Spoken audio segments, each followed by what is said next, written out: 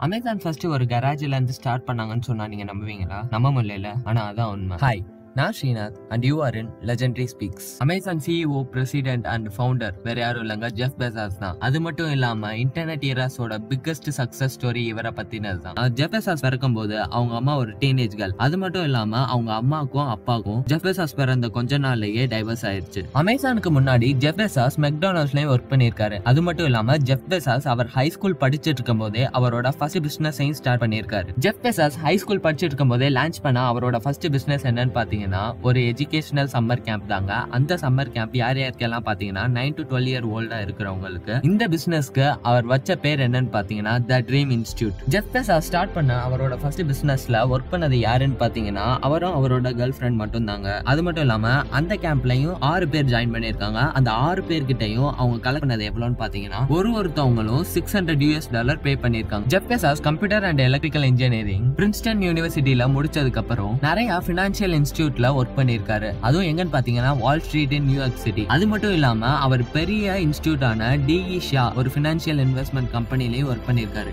Jeff Bezos D E ஷாங்கிற இன்ஸ்டியூட்ல பெஸ்டா ஒர்க் பண்ணனாலயோ என்னமோ அவர் யங்கஸ்ட் ஏஜ்லயே நைன்டீன் நைன்டில அவர் டிஇ ஷாங்கிற இன்ஸ்டியூட்டோட வைஸ் பிரசிடென்டா ஆயிருக்காரு. ஃபர்தரா போறதுக்கு முன்னாடி நான் உங்கள்ட்ட இன்ட்ரெஸ்டிங்கா ஒன்று கேட்கணும். என்னன்னு பாத்தீங்கன்னா உங்களோட பிகினிங் ஸ்டேஜ்ல உங்களுக்கு ஒரு கம்பெனி ஹை சேலரியே ஆஃபர் பண்றாங்க. அந்த கம்பெனியை நீங்க ரிசைன் பண்ணிட்டு போவீங்களா? அப்படி உங்களோட கருத்து என்னங்கிறத கீழே கமெண்ட் பாக்ஸ்ல மென்ஷன் பண்ணுங்க. ஆனா ஜெஃப் பெசாஸ் டிஇ ஷாங்கிற கம்பெனில பயங்கரமா ஹார்ட் ஒர்க் பண்ணி வைஸ் பிரசிடென்டான நாலே வருஷத்துல அந்த கம்பெனிலேருந்து ரிசைன் பண்ணியிருக்காரு எதுக்குன்னு கேட்டிங்கன்னா அவரோட ஆன்லைன் புக் ஸ்டோரை லான்ச் பண்ணுறதுக்காண்டி அது வேற எதுவும் இல்லைங்க அமேசான் தான். ஜெஃப் பெசாஸ் எவ்வளோ தேரான பர்சன் இதுலேருந்து தெரியுது.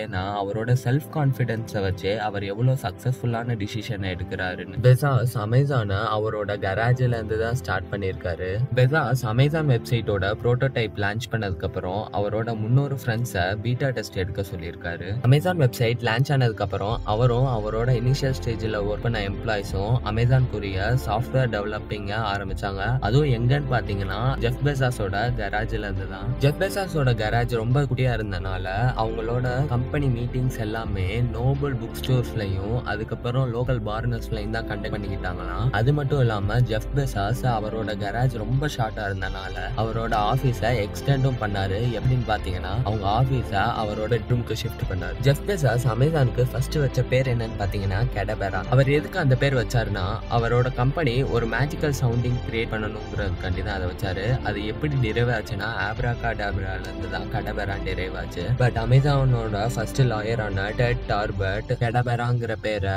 பயங்கரமா வாண்ட் பண்ணாரு.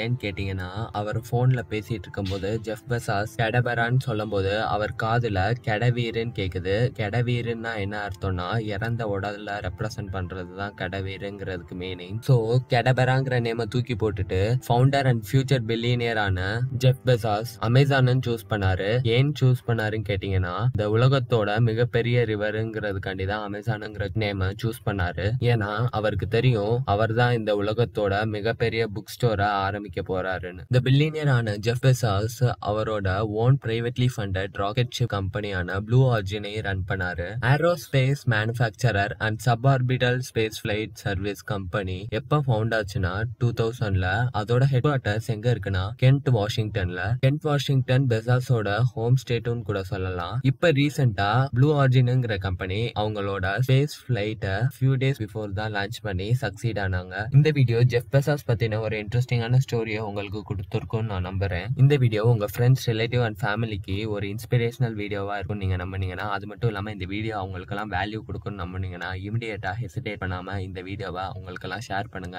அது மட்டும் இல்லாம லெஜெண்டரி ஸ்பீக்ஸுக்கு மறக்காம லைக் ஷேர் அண்ட் சப்ஸ்கிரைப் பண்ணிருங்க. இந்த வீடியோவை என் பண்றதுக்கு முன்னாடி உங்க எல்லாருக்கும் ஒரு கெஸிங் கேம் என்னன்னு பாத்தீங்கன்னா நம்ம சேனல்ல இருந்து வரப்போற அப்கமிங் வீடியோ ஜெஃப் பெசாஸோட ஒன் ஆஃப் த காம்படிட்டர் அந்த வீடியோ யாரை பத்தினதுன்னு உங்களுக்கு தெரிஞ்சா கீழே கமெண்ட் பாக்ஸ்ல மென்ஷன் பண்ணுங்க. கரெக்டா மென்ஷன் பண்ணவங்களோட கமெண்ட் வில் பி பின்.